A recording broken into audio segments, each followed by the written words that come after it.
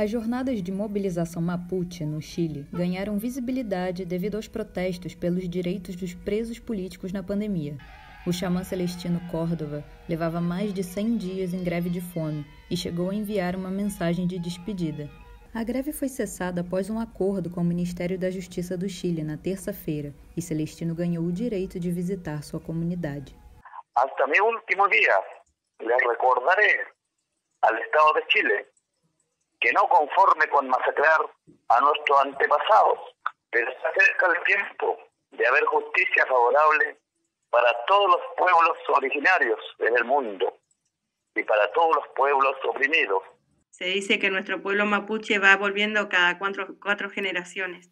Vuelve, como que vuelve a reencarnar.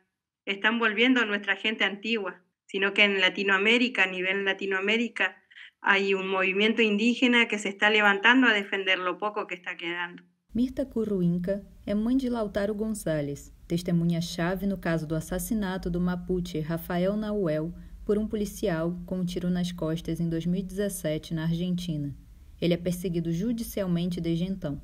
O juiz responsável pelo caso acionou a Interpol para prender o jovem Mapuche. Há muito eh, claros exemplos de muita gente que ha sido testigo de cosas contra el brazo armado del Estado y siempre muere o, o lo cuelgan en la cárcel y muchas cosas así. Entonces nosotros eh, eh, tomamos como familia esa decisión que mi hijo se, se diera a la clandestinidad e apoiá-lo nessa situação. Apesar da articulação da nação Mapuche nos territórios, a passagem entre Chile e Argentina tem sido impedida.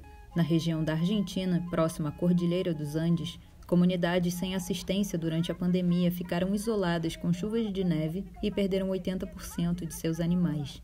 Pero esta asistencia se ha hecho gracias a, a, la, a, la a las comunidades vecinas como nosotros y otras comunidades que ha llegado con alimento, con forraje y también gracias a, las, a la gente consciente, ¿no? a, la, a la gente común consciente, porque la asistencia del Estado no ha llegado. También vemos que esto también es parte de un sistema que ellos están haciendo para que nuestra gente abandone esos lugares. Son maniobras que se han usado siempre.